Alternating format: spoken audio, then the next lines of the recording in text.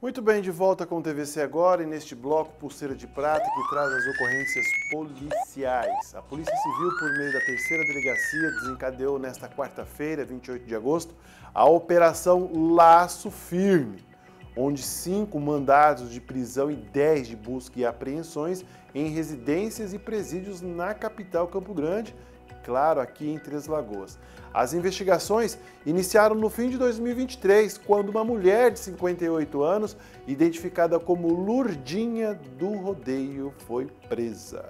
Alfredo Neto, ao vivo, direto da terceira DP.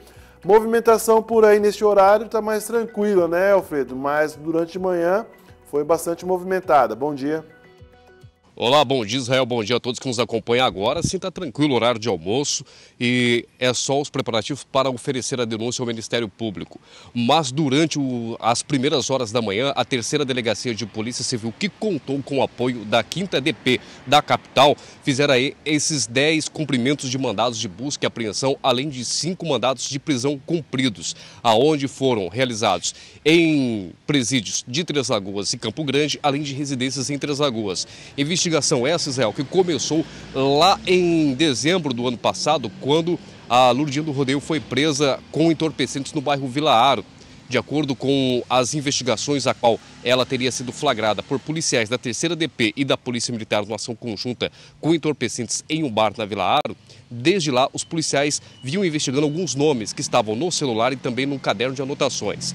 Os policiais conseguiram descobrir que havia uma verdadeira organização criminosa entre presos e pessoas na, na rua que davam suporte para essa organização criminosa para a venda e distribuição de entorpecentes. Hoje, esses cinco mandados de prisão foram cumpridos, aonde cinco pessoas foram trazidas para a delegacia para prestar esclarecimentos e serem conduzidas ao sistema prisional para ser aí investigadas. Ah, durante esse inquérito policial. E é claro, durante essa operação toda, a terceira DP ainda descobriu em uma residência no bairro Jardim das Oliveiras, na rua Antônio Pinelli, quatro caixas de cigarro com mais de 40 mil maços desses cigarros contrabandeados do Paraguai que seriam revendidos entre as lagoas. Durante o cumprimento desses mandatos, a polícia fez uma vistoria nessa residência, conseguiu localizar esses cigarros e o suspeito disse que teria comprado no Paraguai e seria revendido entre as lagoas. Outros materiais apreendidos durante essa busca e apreensão estão sendo anexados ao processo, estão sendo periciados e logo mais teremos a divulgação desse conteúdo tudo que que foi apreendido e dessas pessoas que foram presas. Quantos aqui na rua que estavam dando suporte para essa organização criminosa?